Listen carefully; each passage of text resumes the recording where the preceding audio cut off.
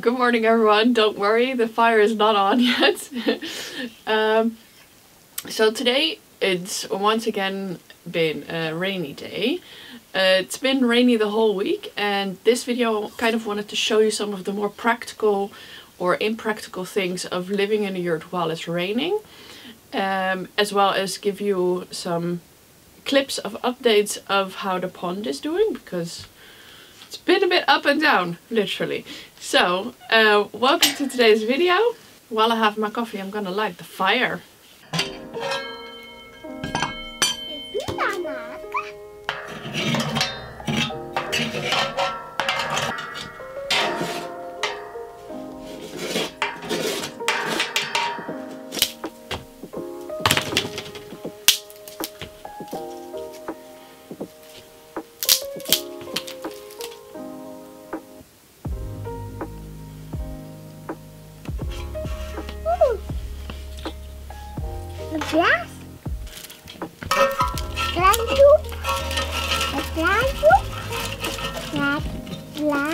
Glasjoep. Boom.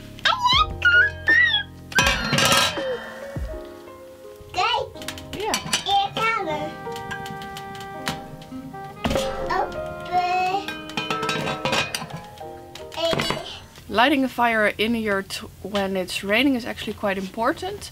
Uh, even though it's not super cold outside, we could probably do without. But to ki- keep the yurt from going moldy, because it has lots of natural materials like the felt and the canvas is all natural. Canvas probably not 100% natural, but you know what I mean?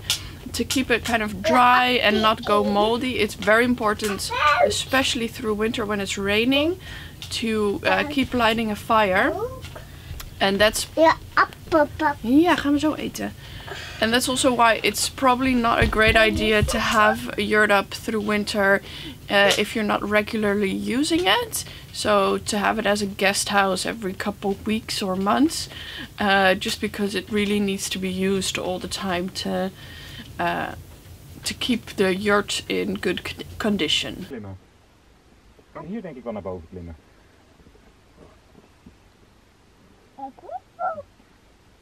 Trappetje.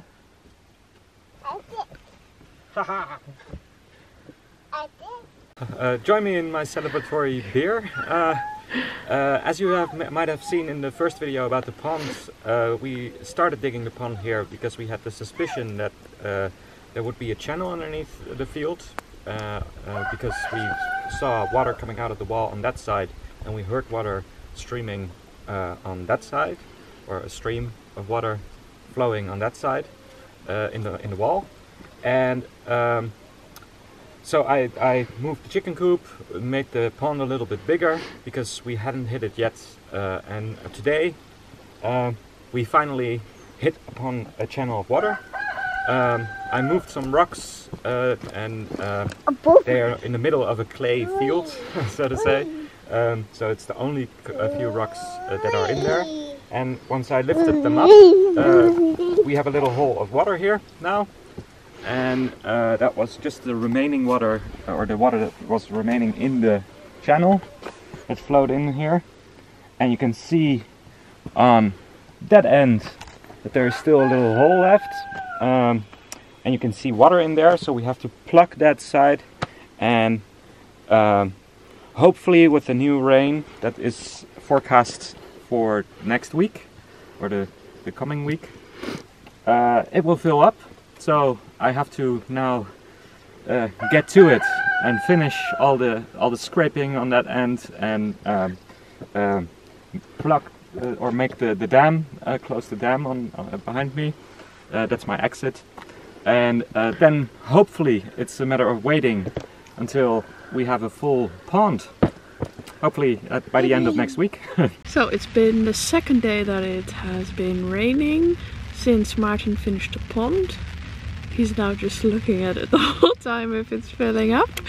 Uh, so let's have a look and see how it's going.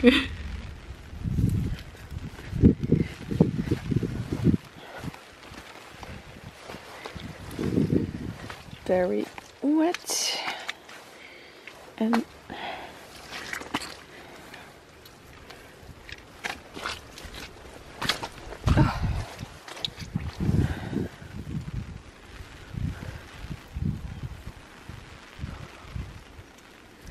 filling up quite nice.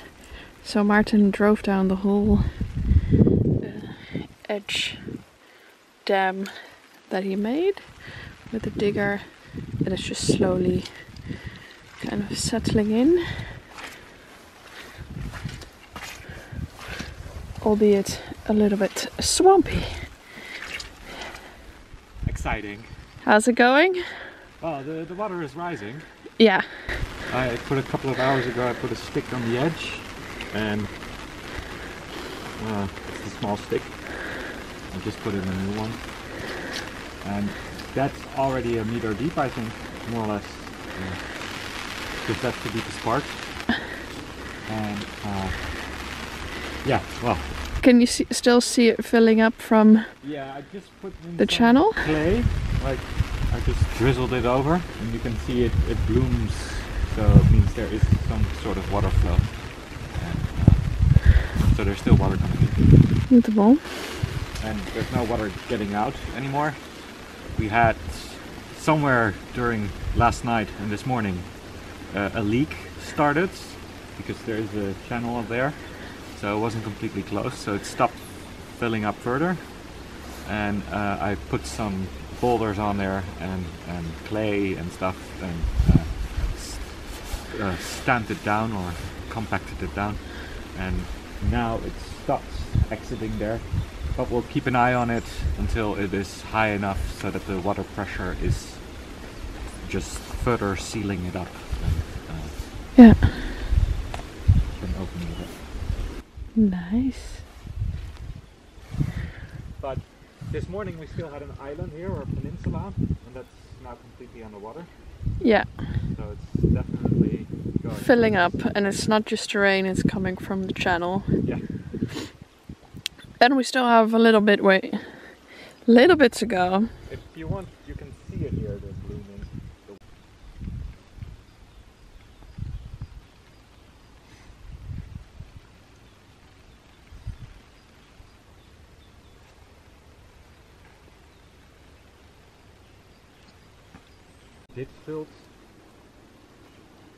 Dit een beetje op hetzelfde niveau. Maar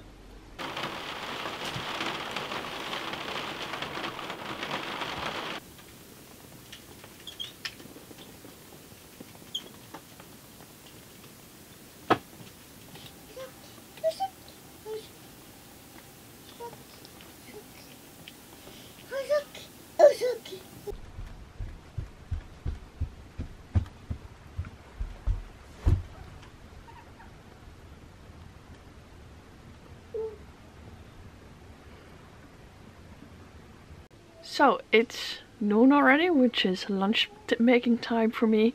But that also means that I have to go outside because right now we only have an outdoor kitchen. So you might be thinking, why not just have a kitchen in the yurt? Let me tell you why. So our yurt is only 6.75 meters uh, in diameter, so it's not massive like some of the other yurts that you can see here on YouTube. Um, and next to that, we're in Portugal, which means that summer is very long and very hot. And cooking inside um, over summer is very much not doable because the ceilings are kind of lower on the end and uh, it just gets very very hot very quickly so um, cooking inside in summer is not an option which is why we have the outdoor kitchen. And then winter is only very short so we decided to not take up space uh, in the yurt for cooking um, because well we're also an, a growing family so we need all the space that we can get inside. And so uh, for now the yurt is our living space where we have the table and the bed and the couch and stuff uh, so we can be comfortable here and while it's raining we eat inside but we just don't have the kitchen inside. It's kind of a hassle when it's raining but for us it's not really a big deal. Um, this winter though has been quite extra heavy on the rain so it's been a little bit annoying but it's not something that I can't get over and I think a lot of people are kind of spoiled is maybe a harsh word, um, but very used to being super comfortable all the time. And part of, of uh, living like this for us is also accepting that some things in life are just a little bit uncomfortable. And part of that right now is that I have to go outside for cooking.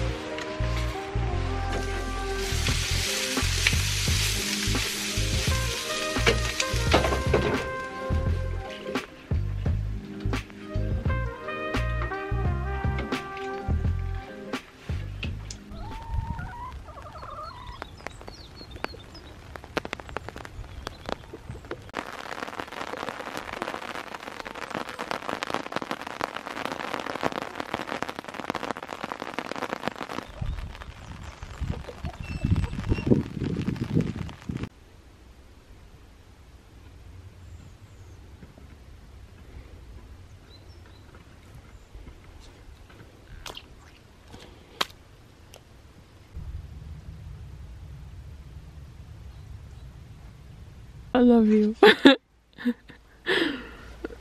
Welcome back to our hole.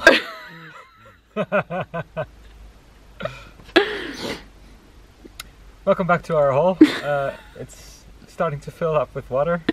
This is two days of rain, um, and uh, it could have been much fuller, but we noticed that there is still some water coming out of the, the wall over there. So we first had one sheet of plastic, but I think it started to, to float a bit. So now we have a second piece of plastic and we weight it down along the edge with uh, rocks and hopefully that will keep it down and uh, therefore uh, waterproof-ish. Um, if you're wondering why I'm uh, pantsless, trouserless, uh, well, not trouserless. I'm No? trouserless. not Pantsless, pants- yeah. Not pantsless. Yes, I'm trouserless because uh, I don't have waders and uh, my uh, uh, my boots are not long enough, uh, or wellies or whatever you want to call it, and uh, it's quite deep here already. I don't think I can even stand on that side because that's even deeper than it is here. Uh, but this is already, what would it be? Close to a meter, 80 centimeters or so. Mm-hmm. And uh, yeah. We keep you updated when it's completely full but this is already a good sign that it's filling up uh, outside of the rain showers it's it's the whole valley is what comes through this channel and uh, that's uh, what we're catching and that's what's filling it up. So that's why it's so going so fast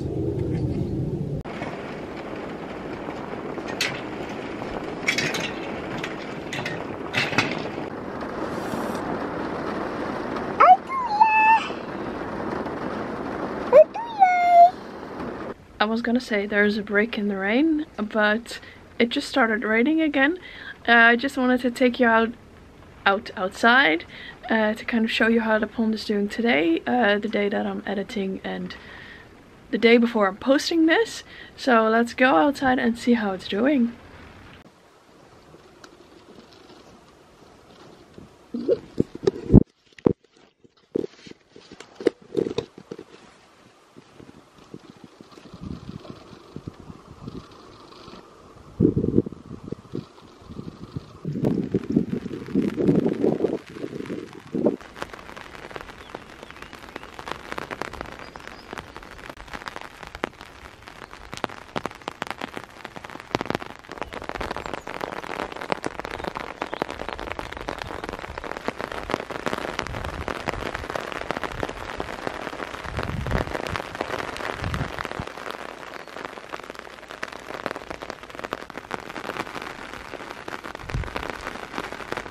As you can see, it's still filling up, just not as quickly as Maarten had hoped.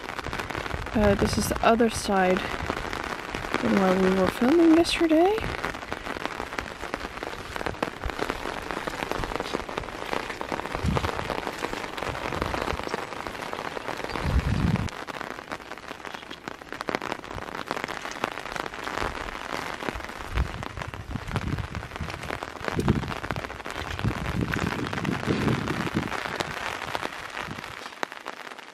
So most of the plastic is covered right now.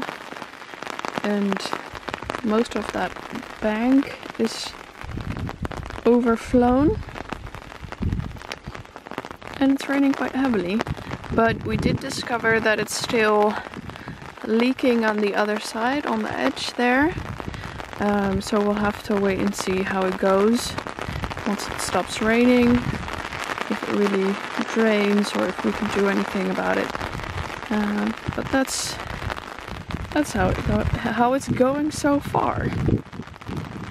So we'll kind of have to wait and see uh, how it goes with the pond, if we can plug that hole where some water is still kind of seeping through. And then, but it, we're still in the middle of winter, we'll have plenty of rain uh, for it to fill up before summer.